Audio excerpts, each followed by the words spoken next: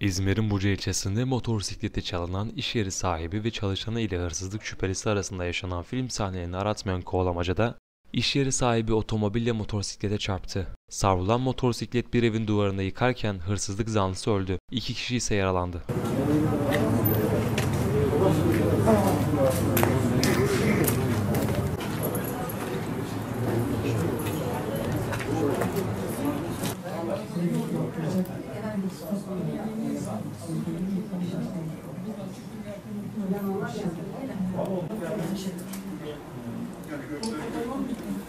Akşamüstü işten gelmiştim. Çocuklarımla birlikte evde oturuyordum. Çocuğum şu kanepede oturmuş. Kanepede bu duvara oturuyordu. Ders çalışıyordu, kitap okuyordu. Ben de şurada uzanmıştım. Büyük bir gürültü duydum. Ben ilk önce bomba patladı sandım. Tuğlalar kafamın yanına geldi. Çocuğumu fırlattı. Dışarı çıktığımda şurada arabayı gördüm ve motosikleti gördüm. İlk kişi de şurada yerde yaralı bir şekilde yatıyordu.